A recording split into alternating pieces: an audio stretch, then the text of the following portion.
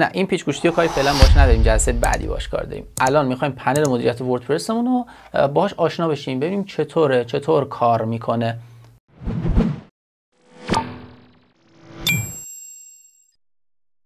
سلام خوش اومدیم به جلسه بعدی. تو این جلسه که خیلی هم باز کوتاه و مختصر و مفیده می‌خوایم بریم سراغ پنل مدیریت وردپرسمون. ببینیم چطور می‌تونیم پنل مدیریت وردپرسمون رو باش کار بکنیم بشناسیمش. یه جایی قرار بود یه کاری انجام بدیم با مشکلی مواجه نشیم. این یکی دو دقیقه خیلی کوتاه و مختصر و مفیده ولی بهتون یه عمر رو می‌تونه کمک بکنه که سایتتون رو مدیریت بکنید. خب من وارد پیشخان وردپرس میشم. ببینید پیشخان وردپرس که تو جلسه قبلی بهتون گفتم چطور واردش میشین WP ادمین رو می‌زدیم و واردش می‌شدیم شامل سه تا بخش اصلیه. یه بخش اصلی این منوی بالاست.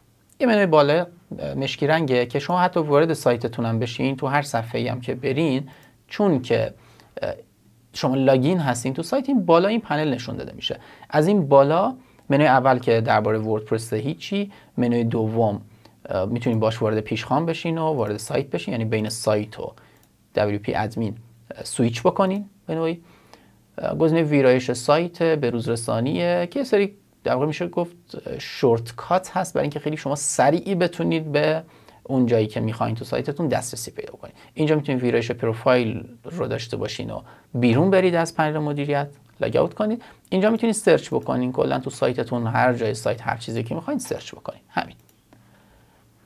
پس می‌تونیم خیلی راحت با این دکمه سویچ بکنیم بین پیشخان و محیط سایتمون.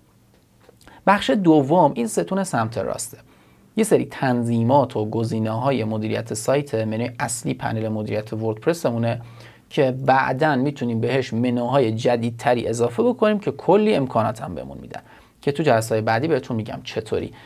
فقط اینو داشته باشین که ما اینو می‌تونیم اینجا کلی امکانات داشته باشیم که اصلا خیره کننده است فوق العاده است. حالا یه بخش اصلی هم داریم که سفید رنگ خاکستری رنگ این وسط که میشه گفت به نوعی کانتنت اون صفحه اصلی. یعنی شما وارد منوی پیشخوان بشین کانتنت پیشخوان اینجا نشون داده میشه. وارد نمایش بشین محتویات مربوط به این منوی نمایش این وسط بهتون نمایش داده میشه. خیلی ساده است. تو هر صفحه ای که شما باشین مثلا تو تنظیمات یا هر جا یه گزینه راهنما اینجا دارین که کامل در مورد این بخش راهنماییتون می‌کنه. حتی مثلا پیشخوان یه گزینه تنظیمات صفحه هم تو بعضی از صفحات داریم که می‌تونیم مدیریت بکنیم که تو این صفحه چیا نمایش داده بشه.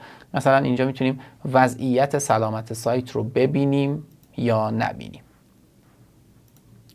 مثلا در یک نگاه رو ببینیم یا نبینیم. فعالیت هایی که رو سایت اون انجام شده رو ببینیم یا نه. اینا چیزایی که بهمون کمک می‌کنه. این بخش رو مدیریت بکنیم اون بخشی که می‌خوایم و فقط داشته باشیم. مثلا این خوش آمدید اصلا به درد اون نمی‌خوره. اخبار وردپرس معمولا استفاده نمیشه.